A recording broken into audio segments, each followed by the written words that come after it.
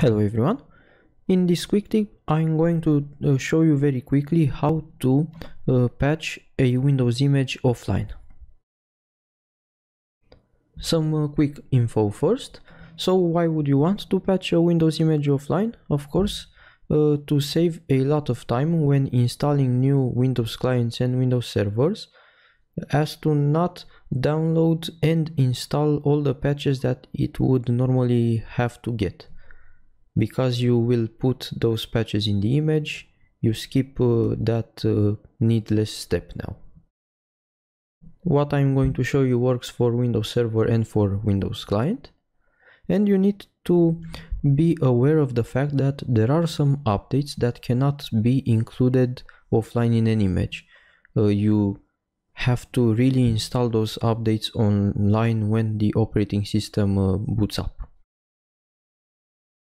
and of course for those updates if you try to include them in an offline image the only thing that will happen is you will get an error. So nothing that will break anything uh, from your environment. So the steps to uh, patch a Windows image offline are first to obtain the actual update files that you want to include in the image.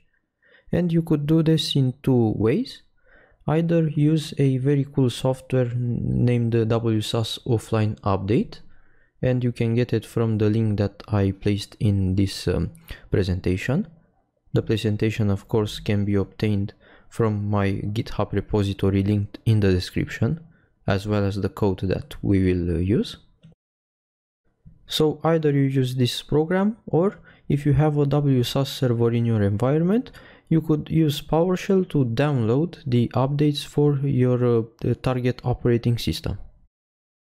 Once you have the updates comes step 2 and step 2 will use PowerShell to inject the updates that you have in the Windows image.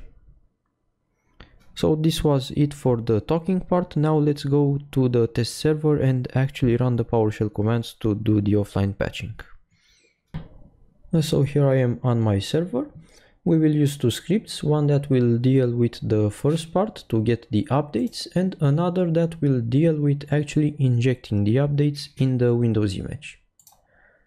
My Windows image is already in the C drive, install.wim is the image, and I will use uh, Windows Server 2016 as the target OS in this video.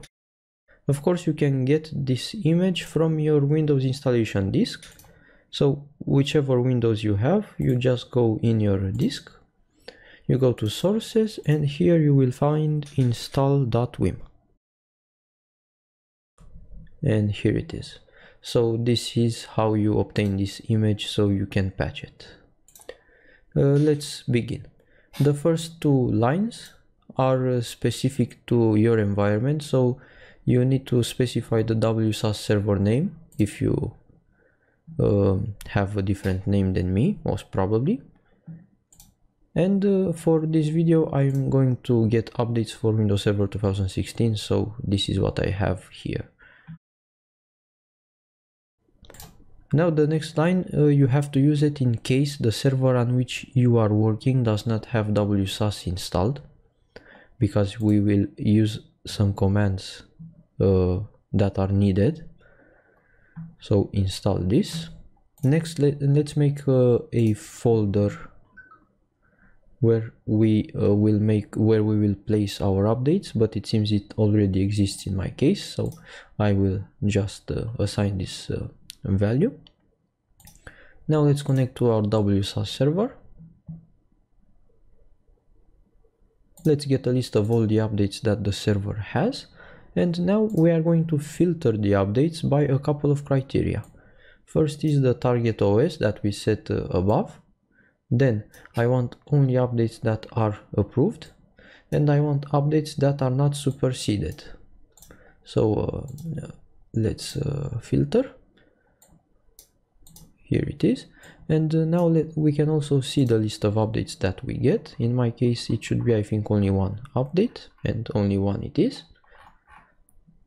Uh, uh, for you of course it should be more because I only use a test environment so now with the list of updates we go through each one and we download it from the WSUS server to our uh, updates folder. I will run this whole block of code.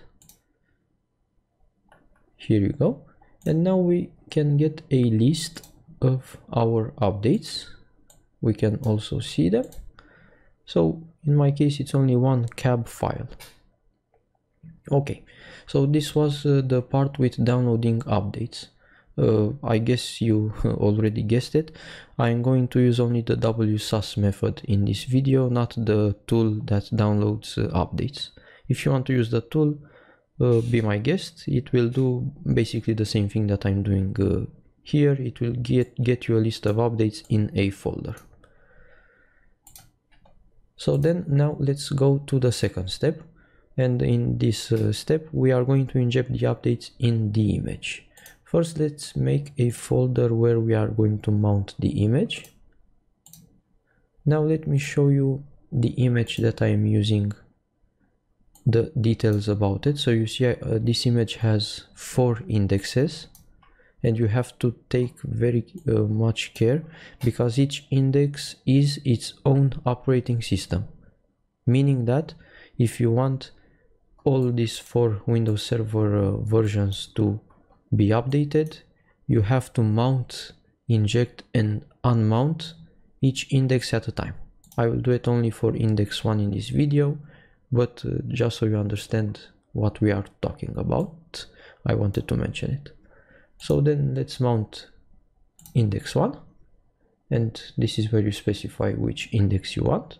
This is not going to take too long, maybe one or two minutes. I will come back when it's done. So now the image is mounted, we can start uh, to inject the updates.